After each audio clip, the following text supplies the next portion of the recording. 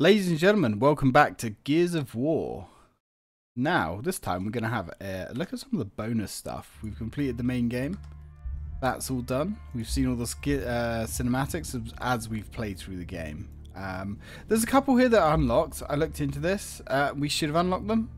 Not sure why we haven't. Uh, but whatever. We know what those are. And we have the concept galleries. Now these are unlocked by um, completing the campaigns uh, 1 through 5. And these are really cool. Jacinto Maximum Security Prison. I don't think you can like zoom in or anything, which is a shame. And then we've got the House of Sovereigns. And I, I just love, absolutely love the architecture and just the art style of this game. Stunning. Troika battle. Yes, we remember that room. Running through that door, coming up here, shooting him in the face, then chucking a grenade over here. What these um, images remind me of is um, kind of like photos, like war journal photos. Embry Square. Kind of makes you think of, um, you know, someone in the group was a war photographer or something. Got the factory. Empire Streets. Ah, the Stranded Camp as well. The Krill Grill. I like that. I mean, it still kind of looks quite homely, really. Until the, uh, you know, grubs turn up. And then everybody dies. Viaducts. Can't really see any viaducts there, but whatever. And again, look, this looks like after a big battle's gone down. And, um, you know, that sign is suspiciously clean, though. Um, you know, Troika's still smoking away. Really cool. And you can see the industrial design on these uh, fans here as well, which I really do enjoy. And then the Lithena Imulsion Factory. Look at this. Absolutely incredible. Imulsion Mines. This is where we fought the um uh I always call them broken fingers, but that's not uh Corpser, that's it. Imulsion factory interior. the mine carts. Which was all good fun. And the Fenix estate. Bit of a rich boy, Mr. Mr. Fenix. Who's conservatory? Like who has something like this?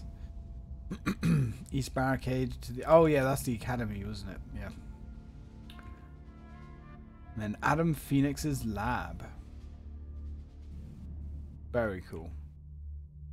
And of course, no rich person is complete without their very own wine cellar. Excuse me.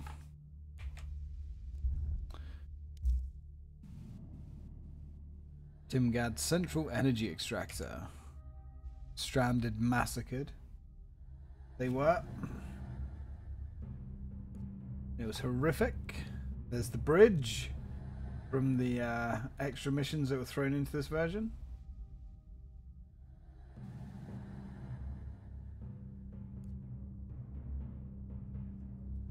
Nemacyst ink skies. I like the fact that the Nemacyst kind of ink the skies up as well.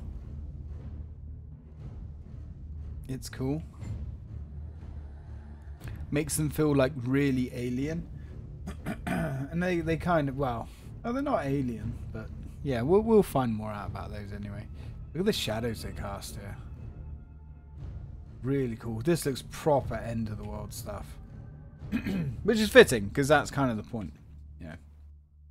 Anyway, so that's the uh, bonus concept art. Now, there's comics here. Um, there's five comics. You got um, 16, 15, 17, 18, and 8. It's. These are cool. Um, I don't know why they've particularly chosen these ones because uh, the, I mean, they're kind of out of order. Like that one should that, that's 15, so that should be there. And then 16, 17, 18, but then you've got 8.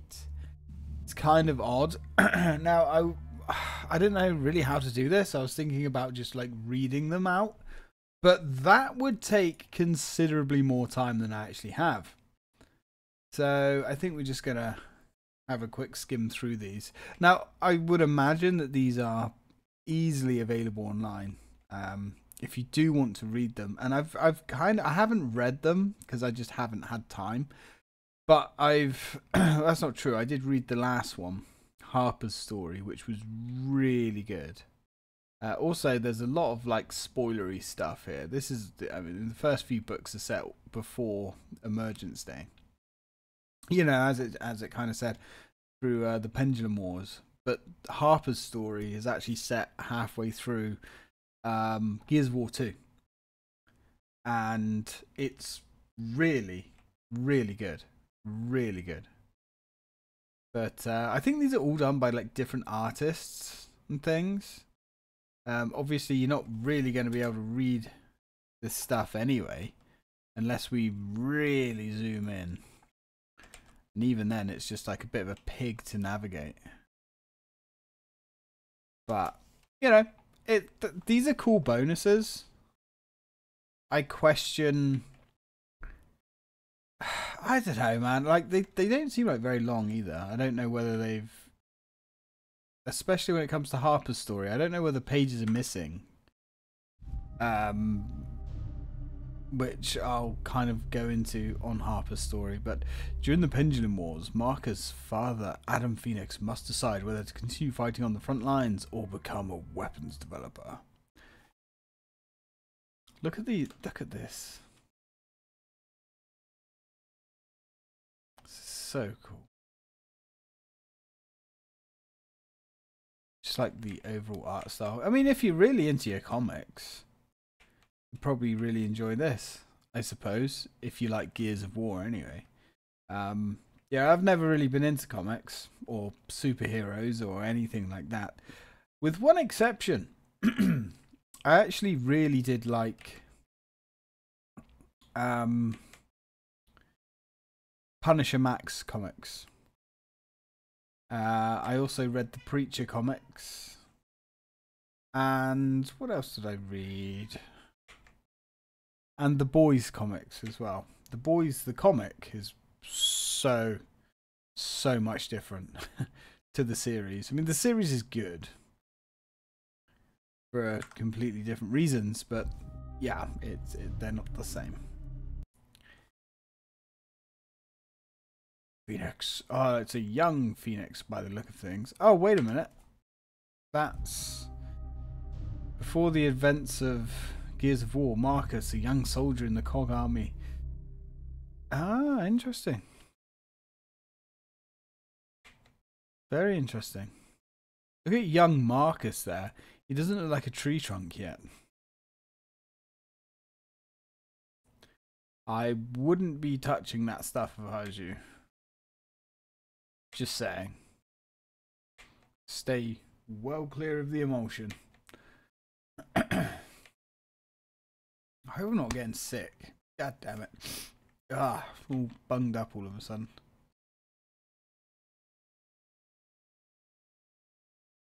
I mean, I don't even know where you would have um, got these uh, comics and things from, to be honest. I guess they were just like available in very select retailers or something, or maybe you could order them. I'm not really sure. It's kind of like the Halo comics.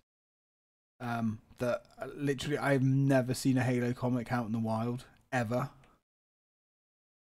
So I can imagine they weren't the easiest thing to uh, get hold of. And Harper's story, this is the one that I actually read. This was really cool. It goes into like Russ Lung and um, the invasion in the second game, which I'm not going to talk too much about because we'll wait for the second game.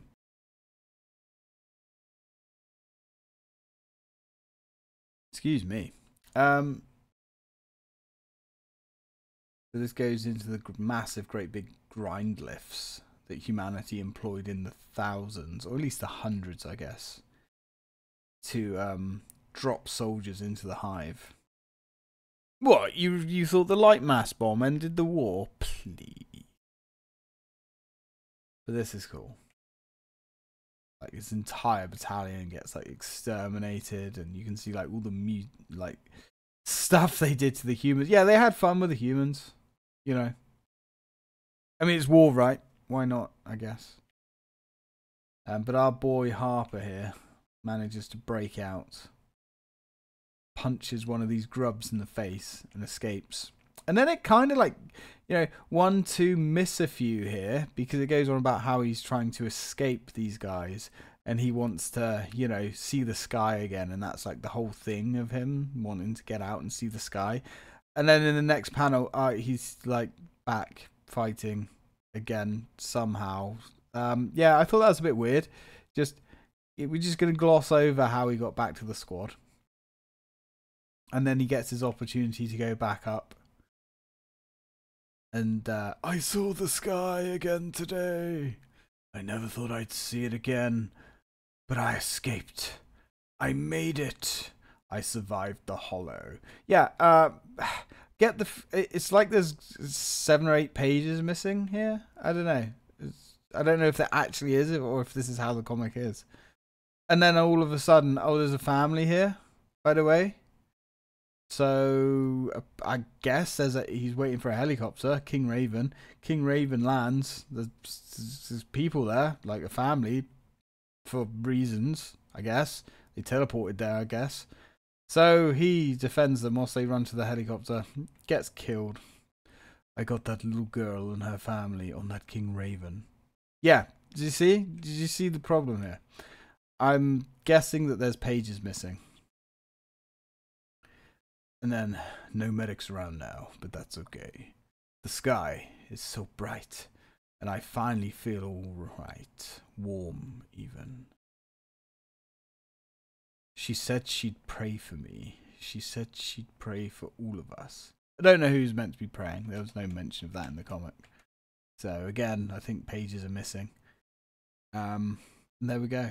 Yeah, I mean, that, that's basically the comics. I don't know if they're all like that. If they're all like, you know, jumping around. It's kind of a bit odd. But um, yeah, I mean, as bonuses and perks go, pretty good. Pretty good. I enjoyed that. Anyway, guys, that's about all there is bonus wise. So I don't know how I'm going to upload this.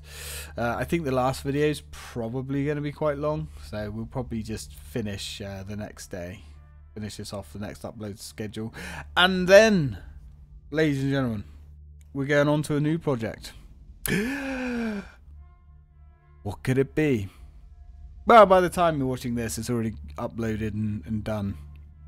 Um, and right this very second now, I only have a vague idea of what it is. So, anyway, guys, thank you very much for watching. And as always, till next time.